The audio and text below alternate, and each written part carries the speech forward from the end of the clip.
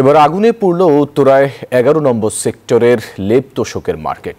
প্রায় আশিটি দোকান পুড়ে ছাই হয়েছে বলে দাবি স্থানীয়দের। বাঁশ কাঠের মার্কেটে দাহ্য পদার্থের দোকান থাকায় আগুন দ্রুতই ছড়িয়েছে। প্রাকৃতিক কোনো জলাধার না থাকায় আগুন নেভাতেও বেগ পেতে হয় ফায়ার সার্ভিস কর্মীদের।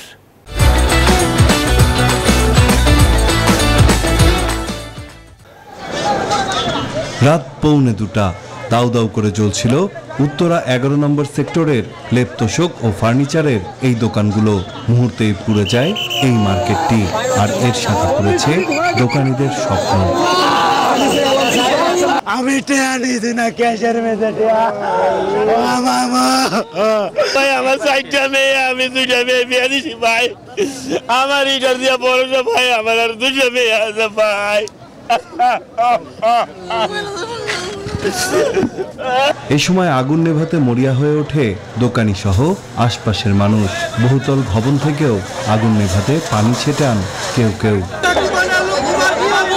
অগ্নিকাণ্ডের এই ঘটনায় কেউ হতাহত না হলেও পুড়েছে বেশ কিছু গবাদি পশু।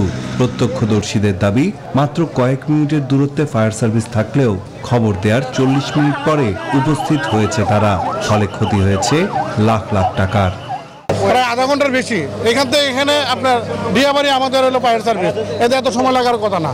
আমি ফুলবাড়ি থেকে হাইটা দৌড়াই আসছি। ফায়ার সার্ভিসে ফোন দিতে দিতে ত্রিফল লাইনে ফোন দিতে দিতে আসছি।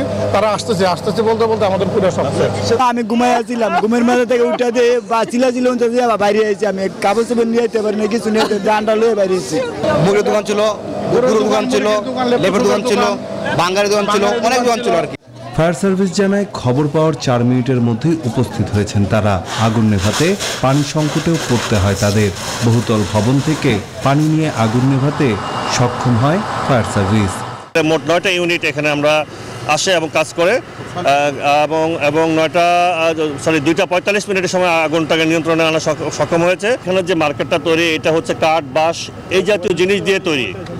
যার কারণে যার কারণে আগুনটা দ্রুত ছড়িয়ে গেছে।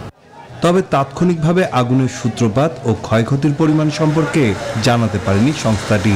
এর আগে উনত্রিশ ফেব্রুয়ারি রাজধানী বেলি রোডে ঘটে ভয়াবহ অগ্নিকাণ্ডের ঘটনা, যাতে প্রাণ হারান শিশু, নারী সহ ছেচল্লিশ জন।